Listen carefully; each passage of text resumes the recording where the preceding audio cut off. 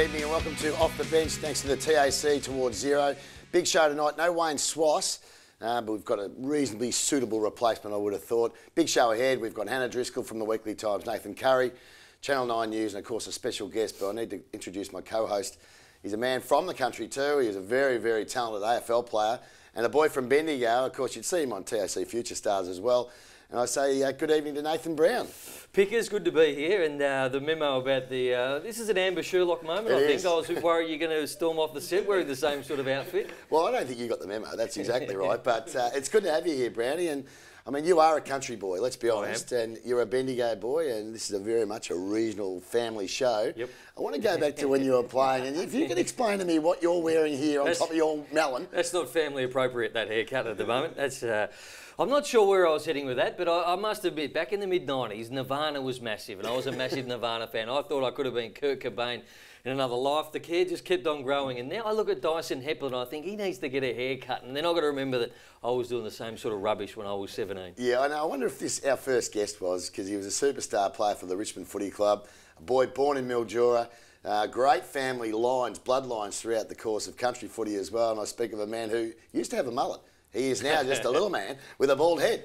I shouldn't say that. Good, e- good evening to you, the flea, Dale, Thanks. the flea Weightman. Thanks, Pickers Brownie. No, well, look, I think everyone had a mullet in the 80s. If you didn't have a mullet, not worth it. And now I, I go with the thing, hair very overrated. I get up in the morning and go, hey, look at this. Don't have to save an absolute fortune on hair products. You know, razor blade and a bit of foam and I'm done. You're done and ready to roll for the day. Can we talk about your playing career because you had a really difficult period there because you're di- diagnosed with type 1 diabetes, so you had to deal with that your whole career. Uh, not all, all the career. I got, I got diagnosed in 83, so I played six years of league footy. And then I just felt really crook there for a while, just pre-season training. I thought, oh, I'm losing a bit of weight here and I'm not feeling that well, thirsty all the time. And virtually, oh, look, I used to play at a whopping 69 kilos. I went down to 60. Gee, jockey. Yeah, jockey. I could have ran the favourite in the uh, Melbourne Cup. And uh, got all tested and everything. And uh, when I went and saw the, the club doctor, and he said, anyone else in the family are diabetic? I said, oh, my older brother is. He was five years old. than me, and I didn't know much about it. And he, I said, oh, yeah. So he said, go and test you. He said, well, so your blood glucose should, should be between about four and eight, your sugar levels. Mine was 34. Gee. So I was just about going into a coma. So I was in hospital for two weeks just to get myself organised. It was funny at those times when the I was just about ready to sign another contract and the clubs come like Patagon Ames, come, "Uh, you're right, have you, has he signed yet? Has he signed yet? But in, in the end, I, I think it was, um, uh, look, I, I learnt as much as I could about it, got some information off Ross because he was playing, he was a good footballer up the bush uh, and a good sports person, so I got a bit of information, but there was no one else playing league footy that had it. So it was a fair bit of work I had to do. Uh, but w- w- the stats show, look, I played about 115 games before became diabetic, played another 170 odd. Did pretty well though. I, Yeah. I, you know, I, I, I done pretty good footy. So It's been yeah. 37 years since the Tigers won a flag. This was the last time, 1980. You were a big part of this game. Uh, Kevin Bartlett starred. What, what are your recollections of this game? This is amazing because this is what every Richmond supporter wants at the moment. don't forget, I was only 20. So the recollection uh, of it is, um, is probably still there, but it's, it's a long time ago, and you're thinking, hang on a minute, you're, um, this is going to happen there all the time. And in the next, I played, I retired in 93, so in the next 13, 14, 14 years, I only played one more final series, and that was in 82. Never played another one. Let's have a look at your uh, footy resume here. and It's an unbelievable record, isn't it, when you look at it? 20 Brownie? state of origin games. That's amazing. Well, I think don't, people don't appreciate it. A lot of the young people now wouldn't realise how important state of origin was. You, you really excelled at that level when you loved playing with, it looked like you loved playing with the very best players. Oh, I found it a lot easier. Look, in the mid '80s, we struggled a bit, the Tigers, with with talent and all that kind of stuff, and we were, you know, we, we did a few things wrong, I think, administratively. And I suppose when you got the chance, and uh, luckily I had a had a uh, person there, Graeme Richmond, who was kind of the chairman of selectors, and he knew, probably thought that, look, sometimes I got picked and I thought, oh, I'm not so sure if I'm going all right here. And, and I got, got a game and did really well in them. I think he knew because I got used to get tagged the whole time and uh, got battled from all over the place and all that kind of stuff. So gave me the chance and, and it was, it was good playing with guys probably on the same wavelength. I always put them on the, because you get the ball and you, you do all the same things you would do at the Tigers and we weren't that strong fixed sides, it was unbelievable. You just go out and bang, boom, and, and it was good playing with the best against the best, which was good. Now, I've travelled to Mildura with you. We've done a couple of functions up there. It's fair to say that you're royalty up there in Mildura. The, the, the, the streets just part for Dale Weightman when you come up here. Mildura Imperials, here you are. Take us through a couple of these photos. Oh, that, that would have been, uh, I think, in about 75. My, I think I put won the under 15 league best and fairest, and they're, they're my teammates saying, hurry up, wake on. They watched. It was a grand final. We actually got beaten in the grand final against Mildura. Uh, that was a, that was a now they got the TAC Cup. The, the coach there is Johnny Jones, won the 60, Yeah. 61 Brownlow medalist. That was funny in those days. What you did was you actually had um, sides northwest played the northeast, and then they whoever won the game they just pick side people out, out of it. Now, what about this photo here? Now, who's Now- the bloke at the front, the little kid with the with the blonde tips with the white shoes? Who's that boy? That was Lee Colbert, my, ne- my nephew. That was one of that was uh, Kent, uh, my brother's uh, wedding, uh, and it was one of those. Now, look, Pe- even, peach pair of pants you had on. but there. that, They peach. That was peach. obviously pink and peach were in. of course they were, Flea. So, but doesn't matter. As I keep on telling all my, my kids that are 12, 18 and 16, I look good in anything, so it doesn't matter. exactly right. Hey, the other, your other nephew is doing great things, and that's uh, Benny Weightman, who plays at Kyneton. We've got some vision here of Ben playing. He kicked 13 goals the other week. He's averaging six goals a year. He's a talented little player. He is, he is. And I suppose the, um, I know because he had the 12, 13 years up in, uh, in, in the Gold Coast and he played up there and that. And I, look, I think if he had been down in um, Melbourne the whole time when uh, his, his father was up there working and so forth, he probably would have uh, gone on. And I think he's come along here and he, he's just a really, he's smart. He's a smart footballer, knows where it is. Um, I know his um, his old man reckons I would have missed half the because he, he kicked 13-4 I think that day. And He said I would have kicked 17. Uh, he's only a small fella, 173 centimetres. You're a small rover. Uh, have a look at a board here of how many players there are that have grown over the years. You're 170 centimetres, and you've got Diesel and uh, Robert Harvey, are two of the best of all time. But then have a look at the Bont and Juddy. Uh, I mean, I, I do radio with Juddy, and he's like eight centimetres bigger than me, and then the Bont's bigger again, and obviously Paddy Cripps is massive. But uh, what happened to you? yeah, well, see, I, I, that's the they how, the thing is, I've always been small, so never much. But then I still remember my last year in Mildura, under 17s, Barry Knights, who's Matthew Knights' dad, at the start of the season, he said, look, he was the coach, and he said, look, can't play anywhere else except centre forward. I was going, what? I looked at him and said, yeah. She said, well, there's two other blokes that can only play on the ball. So I've, he played me centre forward the whole, whole game, the whole, whole year. Um, and the, the funny, the senior coach wouldn't give me a game in the seniors because I thought I was too small. Kicked 100 goals at centre forward. won, won the league best and first. And luckily, um, great Alan, the late great Alan Schwab saw me play. And the story goes, he went back to GR and said, look, we've got, got this kid down the bush uh, playing centre half forward, can mark, can run around, kick. And GR's rubbing his hand because Royce Hart was just about giving it away. He's rubbing, We've got another Royce. He said, well, he's only five foot four and weighs about 10 kilos. Invited me down anyway, and so the, the rest of the story. Well, it's been a fantastic journey, Flair. We really appreciate you coming in today and being our, uh, our special guest on Off the Bench. And uh, we'll no doubt be running into you around the traps. Maybe not the Richmond Geelong game. I'm not sure you're going to get tickets for that No game. tickets it's for at that Geelong. Fleet. No, It's I at can't Geelong. even You'll get, get a a, ticket. I, no, no, I can't even get one. I, I try to get one. Fair thing, I can fancy I'll help you out, mate. I'll help you out. Fair down Don't worry. I, I can help you guys out. It's time to let's uh, to take a look at the Carlton Draft Team of the Week. Carlton Draft, Victorian born and bred since 1864. And what have you got for us, Brownie? Yeah, uh, Minyip Murtoa Football Club, uh, emerged in 1995. Uh, a couple of local legends, but they are flying at the moment. They beat Ararat by 92 points last weekend. They're 11 and zip so far this season. And uh, Premiership player Clinton Young is one of their former players. And Roy Kazali used to coach Minyip as well. He did. They're playing Stawell this week, and the Stawell boys are we're celebrating our 30-year premiership reunion. So Oh, at Central Park, it might be a bit of a hard ask Oh, for Minyip to keep yes. undefeated. Stawell boys will be very keen to Uh, get this job done this weekend then. Yeah, absolutely. I Are you we'll going be- up for that? My word, I'll be up there. Yeah? Yeah, my word. I'm looking forward to it. Do they Uh, like you up there these days, or is I he, hope so. the very popular sort of cat up there you are? I think I'm still popular. Thanks again, Flea, for coming in. Uh, that was our Carlton Draft, our team of the week for Carlton Draft, born and bred since 1864. Time to take a break. Plenty more to come on the show. Uh, this is Off the Bench. Thanks to the TAC towards zero.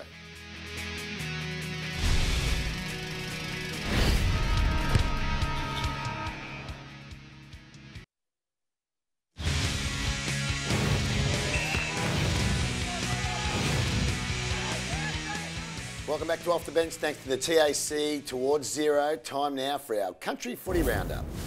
And of course, our country footy roundup, thanks to Greyhound Racing, supporting 3,000 Victorian jobs. And it's time to welcome our man from the, the Nine News, of course, and that's uh, Nathan Currie, who I'm really looking forward to talking. We were speaking off off uh, camera, I guess, Brownie, about uh, We awards won. And Nathan, what have, you won an award at the Drysdale Hawks, where we're going to start today. Not just one award, back to back best clubmen in under 14s. Thank you very much. Massive, You ever win a best clubman?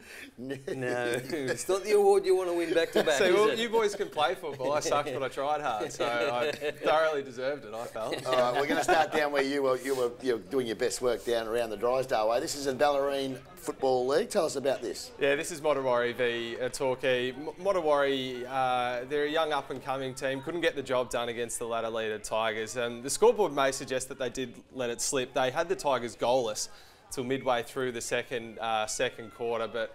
Uh, their coach Josh Finch thinks it's, it's more of a sign that the young team can match it with anybody. So they probably won't finish top three now, but they'll still make finals, which is pleasing for them. And here's the ladder. Obviously, Torquay are flying at the moment, uh, and your boys aren't going that well at the moment. Yeah, no, it's, it's a tough year for the Drisdy Hawks. They are rebuilding, but they've uh, re-signed coach Wade Chapman, uh, my old coach, uh, for 2018. How old's Chappie now? Is he still going around? Yeah, he'd, he? be, he'd be getting on. He's only on the sidelines now, but yeah, I still wouldn't mess with him. He, he knows how to make you run a few laps. Yeah, we're going a long way from the Bellarine. We're going to the Yarra Ranges next. Yeah, Woori Yallock uh, versus Awandon. Hannah Driscoll was just telling me it was a big occasion uh, for the Tigers. They were celebrating their 1,000th match, and they actually uh, flew two of their surviving members from their 1947 grand final team in just for the occasion. I hosted a function the other day and I found out something about Andy Goodwin, who played at Richmond in the 80s and 90s, that he went to a wedding in, at the Wandin Footy Club. Never played footy in his life. He was 18 years of age. They talked him into playing footy the next day or the next weekend. Two years later, he was playing at Richmond. Fantastic. That's so frustrating for someone like me that played for 10 years. and Hey, you just got did two Best take- Clubman awards. Take the Best Clubman award and be happy with it. Now, in the Yarra Ranges, it's a, it's a relegation, I believe, so it looks like Division 1 goes back. How many go back? Is it one or two? Uh, you go back to Divi 2 if you, Yeah, if you just lose, just the one team. The so one. if you finish Gembrook- last, you go Gembrook down. looking a bit of trouble here with no wins. yeah, they could be playing Divi 2 next year. But whereas Belgrave, uh, they're on track to get uh, back up to Divi 1. They dropped down uh, this season. But yeah, if they win the flag in Divi 2, they'll, they'll head back up. Where are we going here? The Central Murray League? Yeah, this is Woorinen versus Koondrook Barham. Big win to the Tigers. They're having another really good season. Uh, way too good for the River Raiders. Kept them to just one goal in the first half. Uh, meanwhile, the Tigers put on 19 of their own. Not, Uh, not a good chase here, 59. he, he, he, he falls down and then he's had enough. Doesn't even want to see the goal that's kicked. the best clubman right there. and uh, I believe a teammate, a former teammate of mine, uh, Dean Limback, plays up there as well. Yeah, for Koondrook, he's having a really good season. 51 goals, uh, leads the leads the league. Uh, Dougie Palmer for Woorinen's booted He's a rare seven on the unit, Dean weekend as well. Limback. rare unit. I don't remember him. No, he's a rare unit, that's why. okay, righto. What about in the uh, in the in the women's competition? This is at QEO, isn't it? Yeah, it is at the You're on QEO. board, Brown. It is, it is. Lovely ground. Uh, Bendigo is just having another really good season. Now, A- Andrea Walsh, who used to play uh, for basketball for Bendigo Braves, she booted three goals. A famous football family up there, the Walshes, yes. Yeah, also got uh, plenty of uh, other Walshes that play football around there. But uh, yeah, Thunder, Thunder was just way too good. Samantha May chipped in two goals. Never looked back uh, and really built it on there. And as you can see on the ladder, they're just flying. They get the job done week in, week out, at that undefeated. percentage, Pickers. Yeah, it's it's unbelievable. It's a bit like 573. Geelong in like 1997 when you were flying. No, I wasn't. I wouldn't have thought so. No Uh, votes in the Brownlow. No, don't- no, don't start on that. You're like Swan. He does that to me every week. It's not fair. You were Uh, favourite. I wasn't favourite. Uh, now, tell me, uh, there was an unusual finish in the Central. It's a Central Highlands League, Yeah, isn't it? Central Highlands, Yeah. Uh, v Learmonth. Now, Adam Kurzman for Ballan had a shot after the sire, and He thought he was having a shot to win the game. He's kicked a point, uh, but it turns out the scoreboard was actually wrong and Learmonth had won by six points. So the whole kick after the siren business was irrelevant. Sort of like your celebrations a few years ago, actually. Don't worry about that, Adam. I can see where your head's at. I mean, I celebrated a draw once, and when you play for Richmond, you celebrate anything you can get because, because you, you have bad days, and when a draw you get two points, you're really happy with it. So, Brownie, there you go with the hands up, you beauty sort of stuff. Now, speaking of close finishes, uh, our greyhound racing, uh, there's always one race I like to look at. Now, this is what you call a close a close finish. Now, we're on the one dog here. Oh, I want to be on the three so, dog. oh, of course you do at this stage, but this is as close as it possibly could get. What's the finish on the one Look dog? split. You tell me then to try to work out who's won this race. Oh, the one's got it surely on the fence. Well, Well, the race caller couldn't pick it either. No, the race caller was Brian Del- uh, Brendan Delaney, I should say. He couldn't pick it, and you know why? Because it was one one thousandth of a second between the two. So there you go. So they split it. Otherwise, it was a dead heat. So Nate, thank you for your time. Uh, Pleasure, boys. You've been doing very good work here in the first five weeks of the show. That was our country footy roundup. Thanks to Greyhound Racing, of course, putting every dog first on and off the track. Back more with plenty of off the bench after this.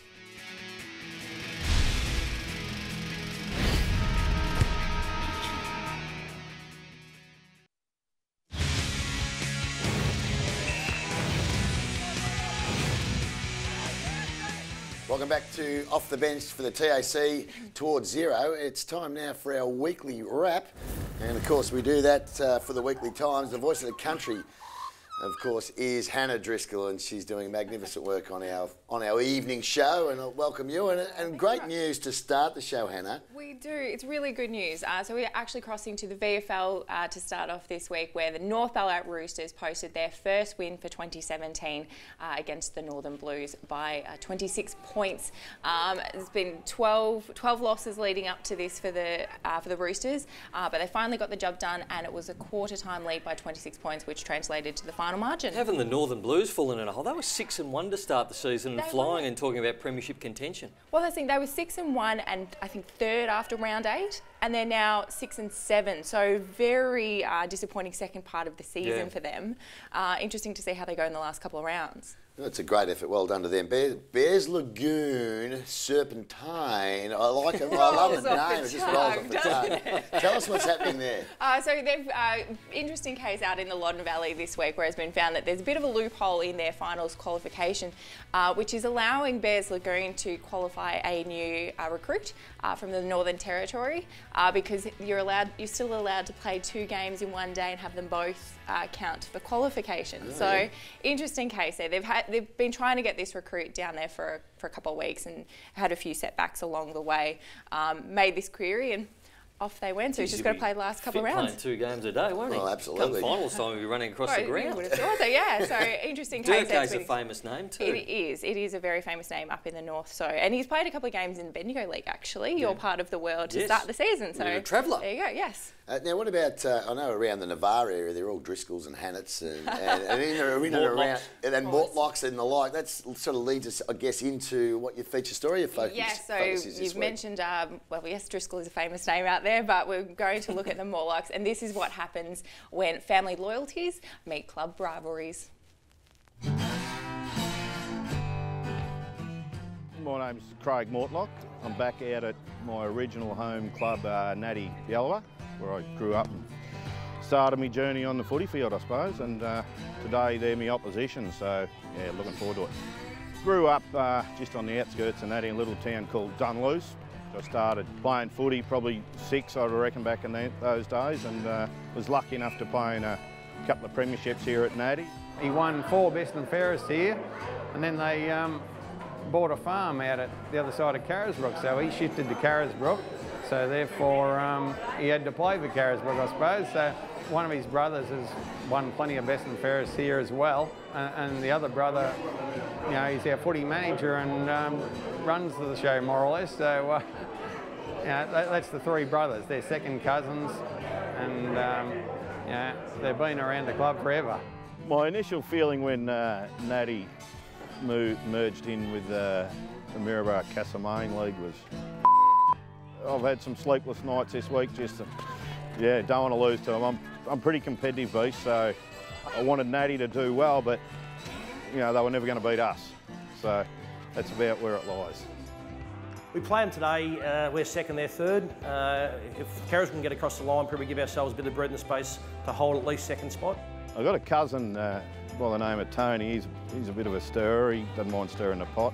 Natty happened to beat us in a preliminary final five years ago, I think, and uh, I was that gutted. I went home and had a cup of tea. So Tony reckons we're playing for the Tetleys Cup today. So I don't know whether he's got anything teed up or not, I hope not, but hopefully I won't be drinking it anyway.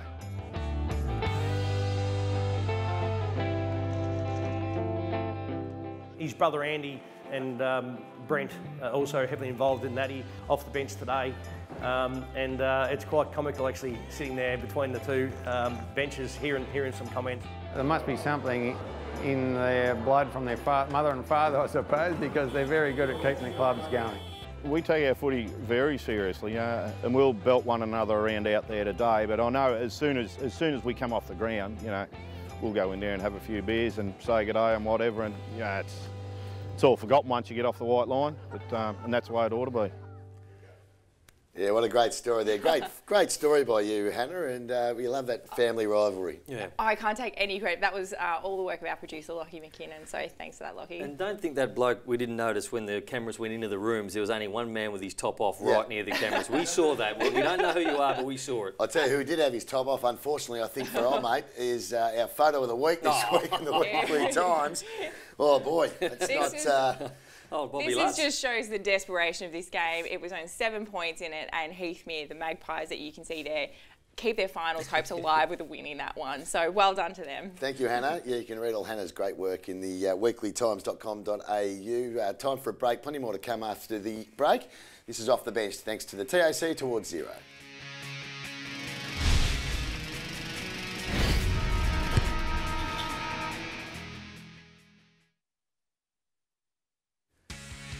Back to Off the Bench for the TAC and the Towards Zero campaign. Uh, time now, Brownie, to look at our great country clashes. Where are you taking us? They don't get any bigger than this, Pickers. The Mininera Football League and the first game, top versus second, the Moyston Willaura versus Lismore Derrinallum. Now, Lismore are 13 and zip. Moyston are 12 and 1. So the Mininera and District Football League, the Demons beat the Pumas by 30 points back in round six this year. It doesn't get bigger than that. I was going to say the Moyston uh, ground's going to be hard to beat. I would have thought the Moyston boys there. That's how I'm seeing it. Yeah, I'm, I'm sticking with you. I'm going to go Moyston. I played think cricket I there back in the day. Oh, did Moyston, you? yeah. Very good. A couple of Oh, hundreds no, out there. no, no. It was, it was hard wicket. It was pretty Yeah. easy to bat on. Yes. I would say, hey, just quickly before we break today and come back next week, of course, uh, just quickly tip Tigers win again? Uh, I think they will. Danger game though. I agree. Thanks for your, thanks for your company. Uh, this has been Off the Bench thanks to the TAC and their Towards Zero campaign.